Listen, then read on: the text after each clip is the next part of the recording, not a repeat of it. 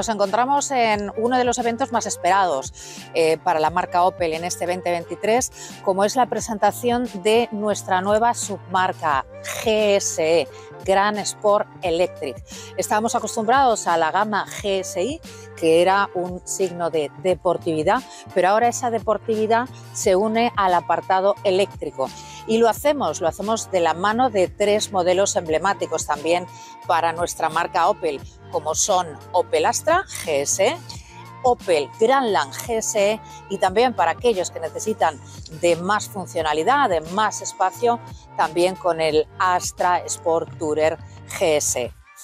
¿Qué es lo que nos aportan estos vehículos? Pues como comentaba, primero dinamismo, eh, estar ya de la mano de la electrificación.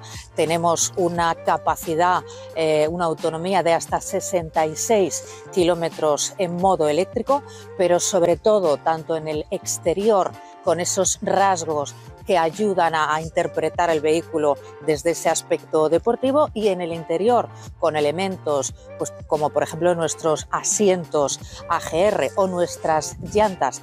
En cuanto por ejemplo a, los precios, los precios arrancan desde 40.900 euros en el caso del Astra hasta 50.700 en el caso de Grandland. Em, importante tener en cuenta también todo el apartado de los diferentes descuentos y plan eh.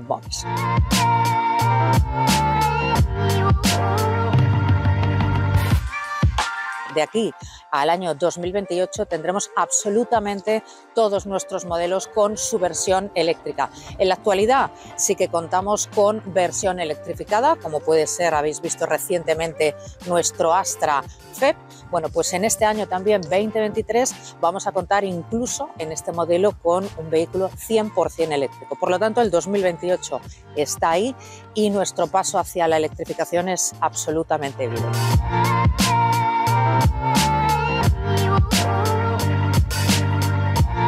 evidente. el 2022 ha sido un año realmente eh, bueno para nosotros, entendemos que también bueno para nuestra red de concesionarios, con productos muy esperados, como comentábamos, con este Astra eh, FEP, eh, contamos con una gama absolutamente completa para todos los públicos. En el 2022 también hemos llegado a presentar los 40 años de un vehículo icónico como ha sido nuestro Opel Corsa.